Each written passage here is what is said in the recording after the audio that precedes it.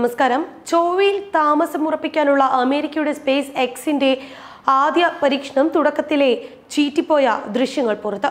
അമേരിക്കയെ വെല്ലുവിളിച്ച് സ്പേസ് വിപണി പിടിക്കാനിറങ്ങിയ ചൈനയുടെ ഐ സ്പേസ് വിജയകരമായി ശൂന്യാകാശത്തിലേക്ക് വിക്ഷേപിച്ചു.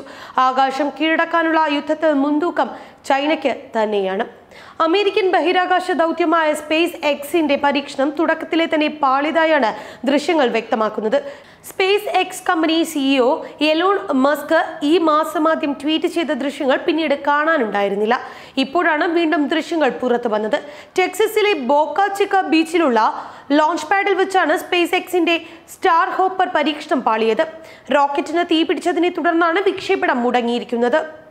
പരീക്ഷണം തൽക്കാലത്തേക്ക് റദ്ദാക്കേണ്ടി വന്നുവെന്നാണ് SpaceX engineer Kate Tice പറഞ്ഞത്.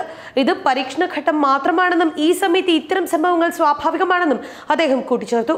ബഹിരാകാശ വാഹനത്തിന്റെ അതിർത്തികൾ നിർണയിക്കുന്നതിനുള്ള പരീക്ഷണം മാത്രമാണ് നടന്നത്. അതുകൊണ്ട് തന്നെ അഗ്നിബാധ പരീക്ഷണത്തെ യാതൊരു തരത്തിലും ബാധിക്കുകയില്ല എന്നും കെയ്റ്റൈസ വ്യക്തമാക്കി. ഇന്ധന ചോർച്ചയെ തുടർന്നാണ് അഗ്നിബാധയുണ്ടായതെന്ന് ഇലോൺ മസ്ക് പറഞ്ഞു. ദൗത്യത്തിനോ പരീക്ഷണ വാഹനത്തിനോ കാര്യമായ കേടുപാട് സംഭവിച്ചിട്ടില്ല എന്നും അദ്ദേഹം പറഞ്ഞു. ബഹിരാകാശത്ത് താമസം ഉറപ്പിക്കുന്നതിന് വേണ്ടിയുള്ള മസ്കിന്റെ സ്വപ്ന പദ്ധതിയാണ് സ്റ്റാർ ഹോപ്പ് ഒട്ടേറെ പരീക്ഷണ ഘട്ടങ്ങളിലൂടെ കടന്നുപോയ ശേഷമാകും സ്റ്റാർ ഹോപ്പർ യാത്രക്കാരുമായി കുതിക്കുക. ഓരോ ഘട്ടവും ശരിയായ രീതിയിൽ പ്രവർത്തിക്കുന്നുണ്ടോ എന്ന് ഉറപ്പിക്കാനാണ് ഇപ്പോഴത്തെ പരീക്ഷണങ്ങൾ നടത്തുന്നത്. അതിനിടെ ബഹിരാകാശ വിപണി പിടിക്കാനുള്ള മത്സരത്തിൽ അമേരിക്കയെ പിന്തള്ളി ചൈന കുതിക്കാനുള്ള സാധ്യത തെളിഞ്ഞു വരികയാണ്. വാണിജ്യാടിസ്ഥാനത്തിലുള്ള ഉപഗ്രഹ വിക്ഷേപണ രംഗത്ത് ചൈന ഏറെ മുന്നേറി കഴിഞ്ഞതായാണ് റിപ്പോർട്ടുകൾ വ്യക്തമാക്കുന്നത്.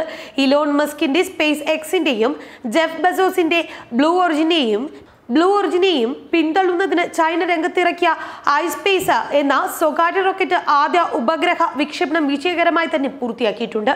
നോർത്തോൺ ചൈനയിലെ വിക്ഷേപണ തറയിൽ നിന്ന് ജൂലൈ പതിനഞ്ചിനായിരുന്നു വിക്ഷേപണം നടന്നത്.